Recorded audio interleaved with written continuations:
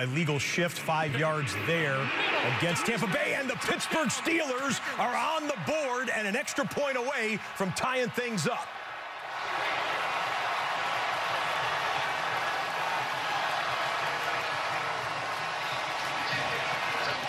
Uh, as a miscommunication in coverage, a coverage bust. You're going to see John jo uh, Johnson, number 43. He comes down, and he's trying to play the receiver from the other side of the field. And so they get confused. Uh, Johnson plays the wrong receiver, and